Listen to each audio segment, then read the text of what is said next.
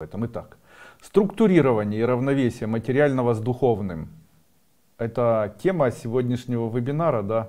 Вот давайте я скажу несколько слов. Почему духовное и э, материальное оно должно между собой структурироваться? Все дело вот в чем. Когда человек пытается быть конкурентно способным, то он должен столкнуться с проблемами, которые связаны с конкуренцией среди тех людей, с которыми он живет. Допустим, вы собираетесь заниматься, вы хотите стать очень знаменитым человеком. Для того, чтобы стать очень знаменитым человеком, вам необходимо конкурировать с теми же людьми, которые хотят тоже стать очень знаменитыми людьми. И эта конкуренция должна происходить в особых таких материальных моделях. То есть вы должны быть красивее, чем все остальные, чем все остальные там 100 тысяч человек, умнее, чем 100 тысяч человек, там, я не знаю, моложе, чем 100 тысяч человек, еще что-то. Тем самым можно сказать, что конкуренция в моделях нашего материального мира это чрезвычайно сложный путь.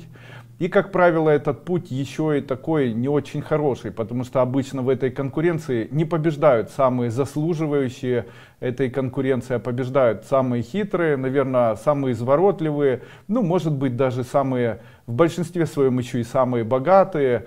А, так я знаю профессоров, которые никогда не закончили хорошо школу и очень плохо учились в институтах и так далее.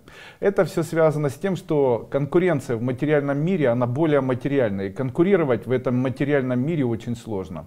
И здесь такой вопрос, который я в свое время задал себе. Он заключался в том, что а как же нам, обычным, маленьким да лысым, конкурировать в этом мире сложном? когда у нас за плечами ничего нет, когда мы тоже хотим быть и знаменитыми, и успешными, и, наверное, здоровыми и так далее. И пришла на ум идея такая, но есть же такие люди, которые ниоткуда да в князе, ну бывают же такие люди, которым вот чертовски повезло.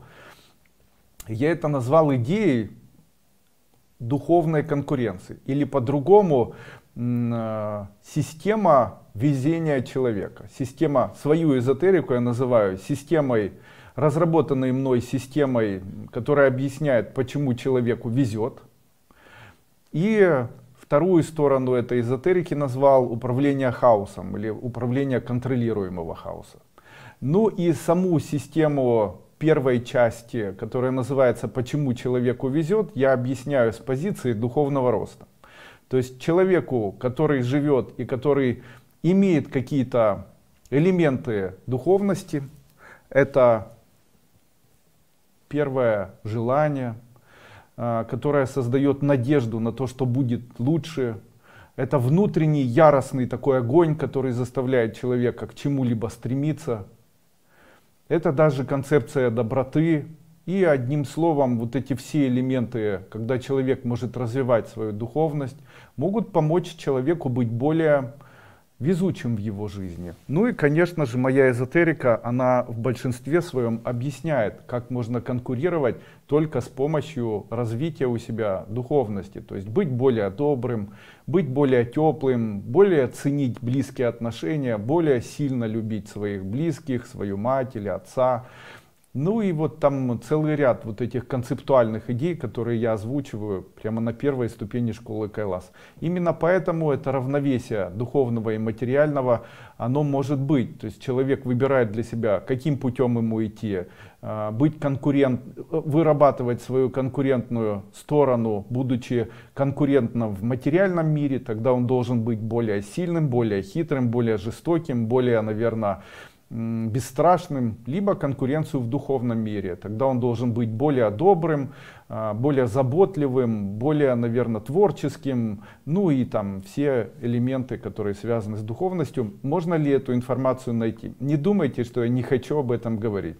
Данную информацию очень легко найти на моем канале в YouTube, который называется Андрей Дуйко официальный канал.